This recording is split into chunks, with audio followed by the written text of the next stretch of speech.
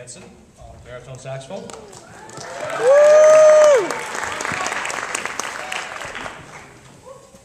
This is Every Day I Have Blues, and normally it's a vocal vocal piece. We're going to feature Mike on Barry, uh, and I'd be remiss if I didn't announce also that he's the Barry sax player for the All State Jazz Ensemble.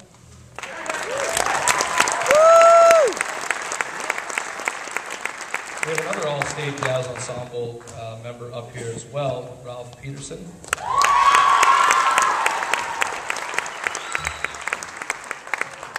So we're going to switch styles a little bit, and uh, this is more of a Basie swing. This is the Basie